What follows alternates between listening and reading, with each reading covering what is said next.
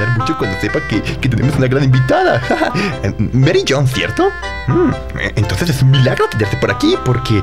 Ah, buenos días amigos y bienvenidos a, a nuestro programa. Mm, ¿Cómo explicarles? Eh, es que eh, mejor que mi amiga del tiempo se presente. Mm, pero ustedes son muy extraños. ¿Debo hablarle a una caja con lente? ¿Me van a entender? Eh, Sí, eh, solo habla, pero mirando la cámara. ¿Qué? ¿Dónde? Aquí. Mm, bueno, yo soy Mary Jones y solo quería una Biblia y ya la tengo. Pero lo que no saben es el esfuerzo tan grande que hiciste para obtenerla. Ay, sí, eso fue muy, pero muy difícil. Ay, pobre mondonguito, ¿ya tienes una Biblia? Mm, qué tonta soy. Es obvio que no tienes una. Pero si necesitas una, con mucho gusto yo te la presto. Y además te enseño a leer, si quieres. No, gracias, Mary. Ya tengo mi propia Biblia y además ya sé leer. Hmm, Eso es de niños. ¿Cómo así? ¿Tú ya tienes tu propia Biblia?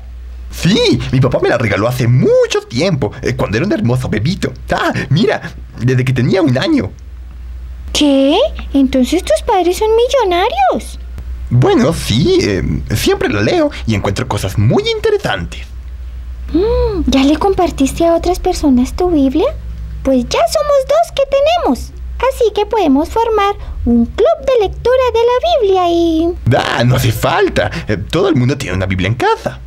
¡Ay, Mondongo! ¿Te imaginas si nuestra fe fuera más, más grande? ¡Ay, Mondongo! Juan 16, 23. Les aseguro que el Padre les dará todo lo que le pidan en mi nombre. Hasta ahora ustedes no han pedido nada en mi nombre.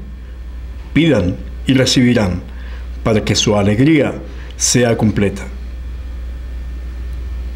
Ja, Mary Jones no sabía nada de lo que había pasado con su deseo. ¡Ay, no pensé que mi deseo se hiciera realidad! Mary Jones fue una niña que quiso aprender a leer, pues deseaba saber lo que había en la Biblia. Y gracias a Dios lo logré. Debía caminar dos kilómetros hasta la escuela y otros dos hasta donde vivía mi vecina, la que me prestaba su Biblia. Y caminó 25 kilómetros para comprar su propia Biblia. Y gracias a Dios me la regalaron. Y gracias a su esfuerzo y valentía logró mover el corazón de los políticos en Gales, Inglaterra. Se creó una sociedad que llevaría la Biblia a todas las personas que desearan leerla. Y gracias a Mary y su anhelo por leer las escrituras, hoy muchas personas reciben a diario miles de ejemplares de la Biblia. Y así todos podemos leerla. ¡Ay, Mondongo! Ahora veo por qué Dios me puso en esta difícil prueba. Y veo que eso dio los frutos necesarios para que la Biblia esté por todo el mundo. Y traducida en muchos idiomas. Mondongo, estoy muy feliz de poder viajar hasta aquí y ver que cualquier persona puede leer este maravilloso libro. Sí, es muy hermoso. Y déjame decirte que... Oh, sí, Señor. Gracias Dios por ver cómo tu palabra ha llegado a tanta gente que como yo no tenía los medios para tener una. Y ver que todo se puede con una oración real y un poquito de fe. Un poquito no, mucho. Amén. Sí, ese es nuestro trabajo. Hacer que nuestra fe crezca y crezca. Ay, Mondongo, ¿me puedes llevar a esos otros lugares donde la están leyendo? Quiero verlos y tengo miles de historias para compartirles que he encontrado en la Biblia. Ah, claro que sí. Eh, Si este fuera otro año, mm, sería imposible. Ya ven, amiguitos, la oración puede mucho.